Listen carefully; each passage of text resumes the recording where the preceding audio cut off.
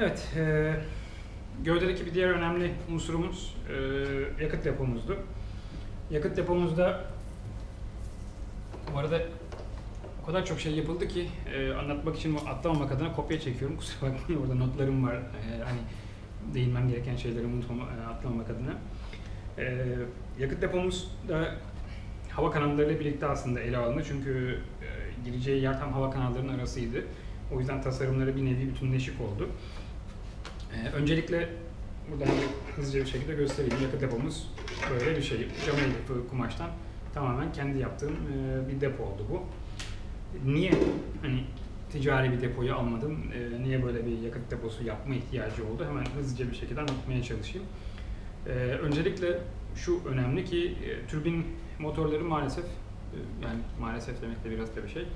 Bir hayli fazla yakıt tüketiyorlar. Yani çok küçük bir hacimden zaten o kadar büyük güç üretebiliyor olmalarının sebebi de bu.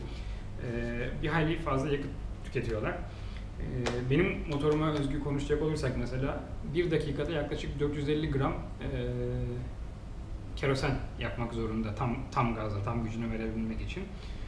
Ee, bu veriyle yola çıkarak bir hesap yaptığınız zaman normalde 5-6 dakikalık yani rahat bir uçuş yapmak istediğiniz zaman e, bunun e, tabii ki bütün uçuş tam gaz olmayacak asla öyle bir şey olmuyor. E, ama işte rezervleri, o sürü hesaba kattığınız zaman benim en nihayetinde çıktığım şey şu oldu. Tabii yakıtın da özgül ağırlığını da 0.8 olarak dikkate aldığınızda e, güvenli bir uçuş sağlayabilmek için e, bir 3 litrelik bir yakıt tankına ihtiyacım var. E, uçuşlar sırasında çok yüksek ihtimalle beklentim şu ki e, bunun fazla olduğunu göreceğim ama şu aşamada en azından bir güvenli tarafta kalmakta fayda var. Havada yakıtın bitmesindense biraz fazla yakıtla iniyor olmak e, işime gelir. Belli bir süre sonra uçağa alışıp gerçekten uzun süreli uçuşların sonunda işte benim sevdiğim 6-7 dakikalık veya 8 dakikalık uçuşlar ne kadarsa ne, tam olarak ne kadar yakıt yaktığımı gördükten sonra yeni bir depo tasarımıyla o depoyu da koyma şansım olur. Çünkü sonuçta yakıtta ilave bir ağırlık demektir. E, bilgi olarak söyleyeyim 3 litre yakıt yaklaşık e, 2.4 kilogram ağırlığa sahip oluyor. E, bir şekilde benim uçağın gövdesinin içerisinde bu 2.4 kilogramlık yakıtı koymam gerekiyordu. Ee, şunu düşünürseniz eğer uç, uçak, uçak uçuşa çıktığında e, burada 2.4 kilogramlık bir yakıt olacak ve uçtan döndüğünde hadi rezerv yarım kilosunu bırakalım yaklaşık 2 kilo hemen hemen 2 kiloluk bir yakıt yapmış olarak geri in, inice geliyor olacak normal standart bir uçuşta. Ee, yani uçuşun başı ile uçuşun sonu arasında 2 kilograma yakın bir ağırlık farkı var. Ve bu ağırlık deponun içerisinde değişiyor tamamen. Deponun konumuna bağlı olarak eğer deponuz tam olarak ağırlık merkezinde değilse, uçağın ağırlık merkeziyle çakışık bir e, ağırlık merkezi yoksa deponun, bunun anlamı bu ağırlık değişiminin aynı zamanda ağırlık merkezinde de uçağın ağırlık merkezinde bir değişim olacağı, e, değişime yol açacağı e, anlamına geliyor. Ve bu ağırlık merkezi değişiminde uçağın karakterini de değiştirecek. Yani uç, uçuşa çıktığınız anda, kalktığınız anda ki uçak uçuş karakteriyle inişe geldiğiniz zamanki uçuş karakteri arasında fark olabiliyor. E, bu aslında hani belli bir yere kadar e, çok önemli değil, tolere edilebilen bir, bir durum. Ama buradan ciddi bir ağırlık farkından bahsediyoruz. E, bir yandan da bunu olabildiğince e, aza indirmek lazım. E, bu etkiyi engellemek için ya da aza indirmek için yapabileceğiniz en iyi şey depoyu olabildiğince uçağın ağırlık merkezine çakışık olacak şekilde koymaktır. E, ama bu uçağa özgü olarak ağırlık merkezimiz tam olarak şu bölmede. E, burada hava kanalları var gördüğünüz üzere. E, o yüzden depoyu benim buraya koymam imkansız. Hava kanallarını daha geniş bir şekilde yapıp buralardan gelip daha arkadan motora bağlanıp motoru da arkaya koyma şansınız olabilir belki ama e, bu uçağa özgü yine o da mümkün değil. Çünkü iniş takımlarımız da burada. O yüzden şu noktaya geldiğimde benim hava kanallarının şu gövdenin iç hacminden gitmesinden başka bir seçeneğim yoktu. E, bu durumda depo için başka bir yer bulmak gerekiyor ki e, en mantıklı yer bu hava kanallarının önündeki yer.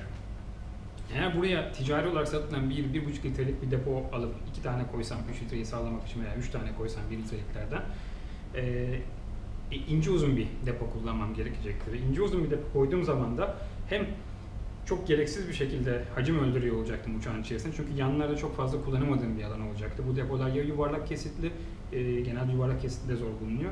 Çoğunlukla kare kesitli. Çok fazla hacim öldürecektim ve bu deponun uzun olmasından dolayı yakıtın ağırlık merkezinin uçağın ağırlık merkezinden uzaklaştırıyor olacaktım. Bu da uçuş etkisini arttıracaktı. O yüzden olabildiğince buraya yakın yani olabildiğince ağırlık merkezine yakın bir yandan da buradaki hacmi en iyi, en verimli şekilde kullanan bir depo tasarımı düşündüm ve 3-4 farklı geometrik şekil tasarladım Fusion 360'ta. Tabi bu arada tüm bunların yani bu hava kanallarını da Fusion 360'ta modellemiş olmamın burada çok büyük katkısı oldu. E, depoyu burada tam aralarına girecek şekilde, boşluk bırakmayacak şekilde veya çakışmayacak şekilde tasarlama imkanım oldu. E, bu farklı geometrik şekilleri tasarladıktan sonra biraz hani hangisi daha iyidir, avantajları, dezavantajları, üretim açısından avantajları, operasyon uçuş sırasındaki etkileri vesaire üzerinde bir e, değerlendirme yapıp en nihayetinde neredeyse hemen hemen küre olan bu şekle karar verdim. Gördüğünüz bu şekil en nihai tasarım haline geldi. Arka kısmı e, iki kıvrımlı açıyla düz. Bu tam olarak hava kanallarının e, hava kanallarına değmeden ama olabildiğince de aradaki hacmi e, öldürmeden yerleşmesi için. Ön kısmında yuvarlak. E, bu da gövdenin içerisine sığabilecek en büyük şekli elde etmeye çalıştım. Bakın hatta şöyle göstereyim. Aslında bunu daha büyük yapma şansım vardı ama bunu daha büyük yapsaydım buraya oturtma şansım olmazdı. Hatta ve hatta şu şekliyle bu haliyle bile bu gövdenin içerisine girmiyor. Ama tasarımda altında şöyle bir düzlük oluşturup yere sağlam basması için altında böyle bir düzlük oluşturduğum için bu düzlüğün e, burada yarattığı genişlik azalmasından faydalanarak depoyu yan çevirip yerine oturtup içeride tekrar çevirerek girmesini sağlayabiliyorum. Yani bu birkaç milimetre bile daha büyük olsa bu depo uçağın içine sokma imkanım olmayacaktı. O yüzden e, bu tasarım hani buraya sokabileceğim en büyük, en pratik e, depo tasarımı oldu diyebilirim. Peki nasıl ürettim bunu? Bu da e, önemli bir konu. O deponun üretimi için öncelikle bu şekli e, Fusion 360'da zaten oluşturduktan sonra e, yerine oturttum, denedim işte bu şeyleri oturması, içeride çevirebiliyor muyum bunların hepsini görüp evet bu olacak, işe yarayacak dedikten sonra e, yine 3 boyutlu yazıdan basılacak şekilde kalıplar tasarladım. Bu kalıplar plastik 3 boyutlu yazıdan basıldılar gördüğünüz üzere. Ve 4 parça toplam. Her bir elindeki kalıp aslında 2 parça. Bu da kalıptan çıkmayı kolaylaştırmak için. 4 e, parça olarak bunları bastım. İç yüzeyleri zımpara, astar, macun sürecinden geçirilip e, en son oto boyasıyla turuncu olarak boyandı. Bu yatırıma da kumaşın ısıtılıp ısınıp ıslanmadığını görmek için faydalı oluyor. Ve tabii ki son kat olarak da e, parlak 2, 2K otoboyasıyla akrilik, iki bileşenli akrilik otoboyası verniği ile parlak vernikle boyandı. E, son kat olarak boyandı. Ve en nihayetinde kalıp ayırıcı vesaire uygulanarak kalıp almaya hazır hale getirildi. Ve bu depoda iki parça olarak üretildi bu kalıpların içerisinde. E, arka yarım ve ön yarım olacak şekilde. İki parça yapmamın sebebi de ön tarafta bu deponun fittinglerini takabilmek için bir şeye ihtiyacım olmasıydı. Şöyle burada gördüğünüz bu yapıya. Bu da ticari olarak satılan bir depo, pet şişeden olan bir deponun ön kısmından kestiğim bir parça. Bunu kestim ve bu ön parçaya bunu yapıştırdım. Kumaşla epoksiyle destekleyerek sızdırmaz hale getirdim. Ve böylece standart ticari deponun üretimi olan gayet güzel sızdırmaz. Ee, bu klank ve kapak sistemini benim yaptığım depoya da kullanabilir hale geldi. Aynı şekilde yine ticari depodan elde edilmiş nefeslik nipelini de buraya takıyorum. Ve e, bu şekilde depo kullanılabilir hale geldi. Depoya ilave olarak burada göstermek istediğim e, bir şeyde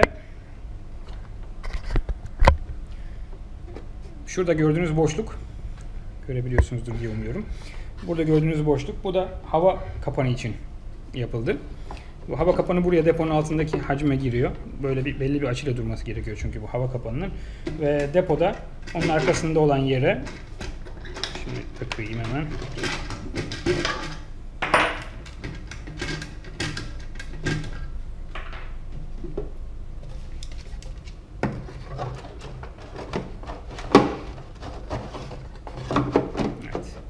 Bu şekilde depomuzda yerine oturuyor. Birbirlerine temas etmiyorlar ama buradaki hacmi de en sonuna kadar gene kullanmış oluyorum ve e, burası da kokpitin altında kalıyor. Zaten onu ileride kokpitle ilgili bölümlerde göreceksiniz. E, yakıt sistemimizde böyle bir yerleşime sahip olacak.